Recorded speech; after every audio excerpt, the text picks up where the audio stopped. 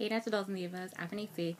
I'm here to show you my protective style. I have decided to go and embarked on a four month protective style and that pretty much means that my hair will be less manipulated, less touched, less everything.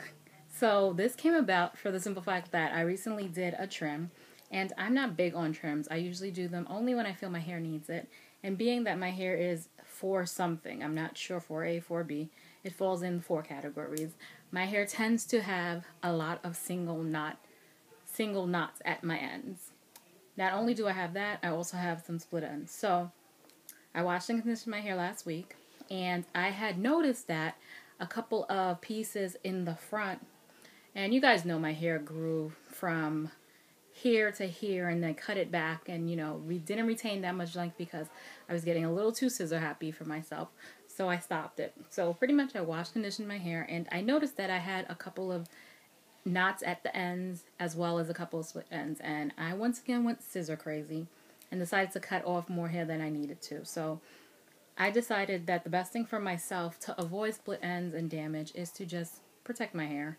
And being that winter is so harsh for hair types in the four categories, it's better to protect your hair than, you know, better be safe than sorry. So I decided to do this protect the style, which is just braids with my real hair. And you guys, if you're familiar with, I believe last year around my birthday, I did this exact same style, except I didn't have as much length. So pretty much you can see the growth. You can see the length retention that I obtained within this year. So pretty much I'm going to be doing a protective style for four months. Hopefully I can do six, but being that it's December, I pretty much figured January, February, March, April, around May, April will be a good time for me to, you know, eliminate the harshness of winter. Less moisturizing, less breakage, less everything. And it's just better to do that. I'm not big on protective styles, but when you hit a certain mark and you just feel that retention is not happening, it's better to just be a protective style person for just a moment. So I'm going to leave this in my hair for two weeks. And in another two weeks, I'm going to take it out, do another style, which will make a full month. And then January to maybe March, I will have a full head weave in my hair. And hopefully it will be, you know, not a bad thing. I'm so not big on them. Since going natural, I've done maybe three weaves. And they all were curly styles, which was easier for me to maintain than with the straight hair. So hopefully I'll get something within that bracket or within that range and see what happens. So yeah, this is it. And I plan to leave the twist in the front till Saturday. I actually was chosen to be a natural hair model for one of the groups that I am in, which is Men Who Love Women with Natural Hair. I went Saturday to audition and I was chosen out of 10 people. 10 people altogether actually were chosen to be the models. And um, Saturday is a photo shoot. And there, I met a lot of lovely, lovely naturals. And hopefully, you know, you guys will get, you know, the inside scoop and see pictures of everything. And this was what brought about me really doing my hair as well. I wanted to do something other than the normal twist out, braid out, or bantu knot out. And I feel like everybody's pretty much going to have the same style. So why not try to be different and do something different? And so I did this as well. And I'll let you guys know how that goes on Saturday. And hopefully, you know, I won't be so much gone with the videos. I have them more closer together and, you know, hopefully I'll get back into the routine of things. I'm still in between of everything because my camera is still not working. So, you know, editing videos and uploading them is such a problem with using just an iPad and iPhone. So hopefully I'll get that done. So um, I have a couple of makeup tutorials coming on. I just purchased this two-in-one combo from MAC. And the color is a little too bright for me. It's just like the color of my nails. That's the reason why I got it. And I will do a tutorial because I plan to wear this tomorrow. I'm also going to a natural hair meetup which is hosted by Taren Guy. And I think it's in the Hair Rule Salon in the city.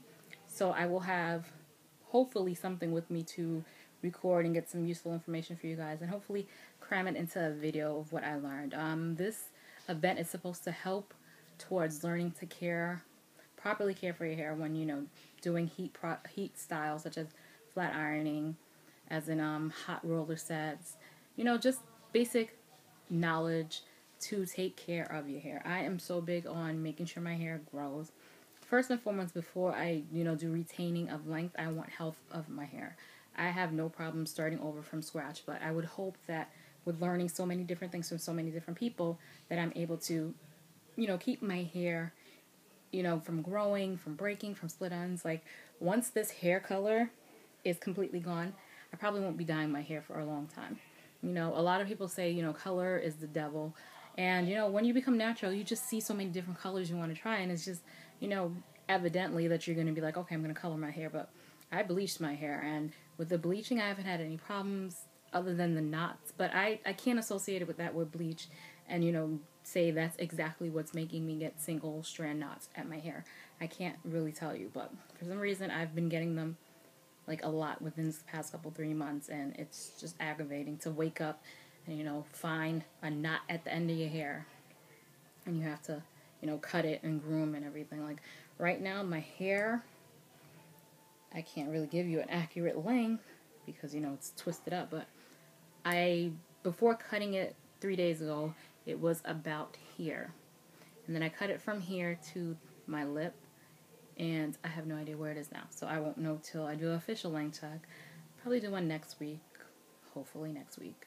Get into that things, and you know, I will be back within this week. I have, like I said, some makeup tutorials. I also have a couple of other stuff I want to touch base with you guys. I just feel like I've been gone so much. It's so hard for me to get into explaining everything that's going on and explain different things that I'm doing, but I will get into that. I promise you guys I will get into the swing of things. I probably tomorrow morning I have to take um I'm taking a Nassau Correctionals Department test, Nassau PD. So in the morning when I'm up and you know ready to go, probably have a direct upload from the car.